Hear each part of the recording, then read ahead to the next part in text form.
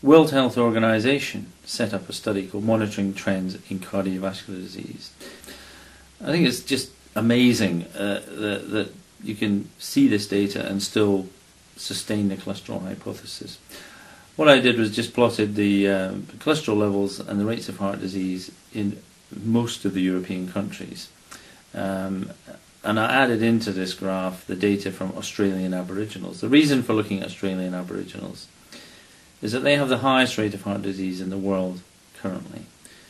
And so you'd probably expect they had a high cholesterol level. But, but when you look at it, what you find is Australian Aboriginals have the lowest cholesterol level of any population studied. And they have a heart disease rate that is about 30 times that in France and about 15 times that in the United Kingdom. And if you look to the right of this graph, and you can see that the Swiss have the highest average cholesterol levels of any population or country in the world, and their heart disease rate is about a third of that in the United Kingdom.